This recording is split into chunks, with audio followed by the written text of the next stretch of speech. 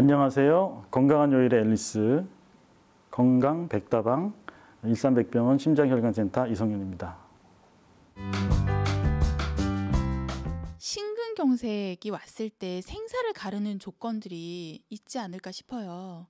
생사를 가르는 조건 어떤 것들이 있을까요? 급성 심근경색증이 생기면 일단 음, 갑자기 음, 혈류가 저하돼서 심장에 괴사가 생기는 병인데 어느 혈관이 막혔는가 상당히 중요합니다. 그래서 관상동맥의 그 종류는 뭐 세 가지라고 기억을 할 수가 있는데 심장의 앞쪽을 타고 오는 전하행지, 측부를 공급하는 회선지, 뒤쪽을 가면 우관상동맥이 있는데요.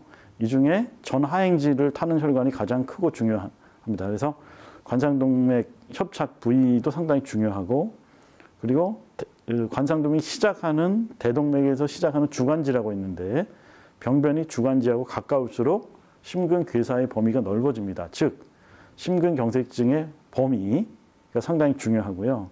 그리고 급성심근경색증에서 같이 동반되는 어, 나쁜 부정맥이 생깁니다. 그래서 어, 심실 빈맥, 우리 전기 충격 주죠. 음, 심실 어, 세동 음, 이런 아주 치명적인 부정맥이 생기냐 발생 여부가 상당히 중요하고요. 그리고 또 막힌 부위부터 막힌 시간으로부터 병원에 도착해서 다시 뚫는 치료를 받게 되는데 증상부터 뚫는 시간이 상당히 중요합니다. 즉 세 가지 심근경색의 범위, 부정맥의 동반 여부, 그리고 재관류라 그러는데 막혔을 때부터 다시 뚫을 때까지 시간 이 생사를 결정한다고 보시면 돼요. 어르신들, 특히 여성분들, 그리고 당뇨병이 있어서 감각이 무뎌지시는 분들, 그러니까 고령이나 당뇨 환자들은 통증에 대한 반응이 상당히 무뎌지세요. 아, 그리고 심장을 보게 되면 심장 뒷면에 바로 식도하고 위가 이렇게 지나갑니다. 그래서 심근경색증인 사람들이 특히 고령 환자들은 체하다고 느껴지시는 증상을 호소하는 분이 상당히 많습니다. 흉통이 없이 오셔서 응급실에 오시는데 심전도를 찍어보고 심근경색증을 진단하는 경우도 상당히 많습니다. 그러면 심근경색으로 병원에 실려온 응급 환자한테 어떤 치료들이 이루어지나요?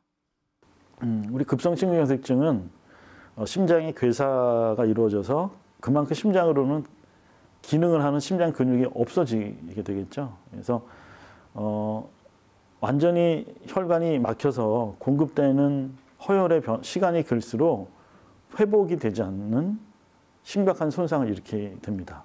즉 혈관이 막혀 있는 상태가 오래 지속될수록 심장의 손상은 커지고 회복 불가능한 비가역적 손상이라고 그러는데 그런 손상이 생기게 되고 부정맥도 많이 생기고 심장 돌연사도 많이 생기기 때문에 저희 목표는 가장 빠른 시간 내에 어, 막혔던 혈관을 뚫어줘서 다시 피를 보내는 치료. 뭐 통틀어 재관류 치료라고 하는데요. 시술이 될 수도 있고 수술이 될 수도 있는데 어, 두 가지 치료 방법은 음, 존재합니다. 그래서 대부분의 95% 90에서 95% 정도는 시술로 치료가 되죠. 나머지 5% 정도가 응급 수술을 들어가는 경우가 있게 되겠습니다.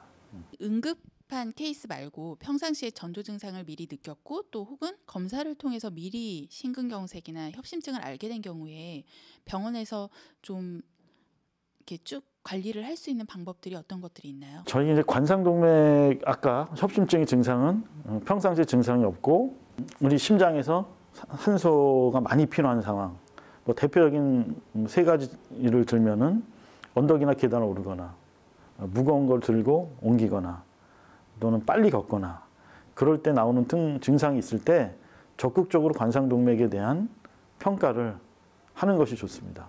그래서 어, 우리 혈관이 막히게 되는 경우 70% 이상 막히게 되는 경우 스텐트라는 시술을 해서 혈관을 그물망을 이용해서 넓히는 시술을 어, 하는 것이 좋고 스텐트 시술을 적절하게 하시게 되면 이 급성 심근경색증은 이 동맥경화가 갑자기 터지는 게 문제가 되는 거거든요. 그래서 터지는 것을 예방을 할 수가 있죠. 어, 그래서 음, 증상에 따라서 적절하게 적극적으로 관상동맥 나의 관상동맥 상태를 알 수 있는 두 가지 검사, 관상동맥 조영술 혹은 관상동맥 CT 검사를 시행하는 것이 예, 좋겠습니다. 관상동맥 중재술과 관상동맥 우회수술은 어떻게 다른 건가요? 또 각각 어떤 경우에 적합한 건지도 좀 궁금- 궁금하고요. 중재 시술은 이제 내과적 치료, 어, 우리 심장 내과에서 시행하는 치료이고요. 우회로 수술은 어, 흉부외과에서 어, 일단 과가 이제 다르고요. 어, 아까 90% 이상이 이제 중재 시술로 해결이 된다고 말씀드렸잖아요. 중재 시술은 어떻게 하냐면 손목이나 손등도 할 텐데 손목이나 허벅지 쪽에 동맥을 통해서 관을 심장까지 집어넣습니다. 도관을 집어넣어서 도관을 이용해서 철선이나 풍선, 아까 말씀드렸던 그물망, 뭐 그 외의 기구들을 이용해서 혈관 막힌 것을 뚫어주는 걸 통틀어서 관성을 중재 시술이라고 하고 있고요.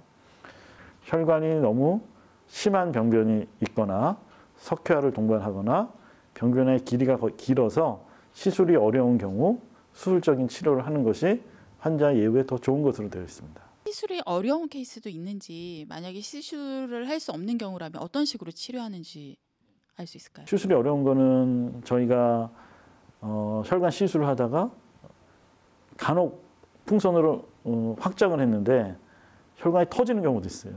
예, 석회가 딱딱한 데다 풍선을 하게 되면 오히려 확장이 되는 것을 넘어서서 음, 혈관이 터지는 경우도 있고요. 그리고 그래서 환자의 상태가 나빠지는 오히려 악화시키는 경우도 상당히 있고 그리고 너무 여러 개의 스텐트를 한꺼번에 시술하다 보면은 저희가 풍선이나 스텐트를 해야 되는데 그 기간 동안 피가 안 가거든요, 오히려.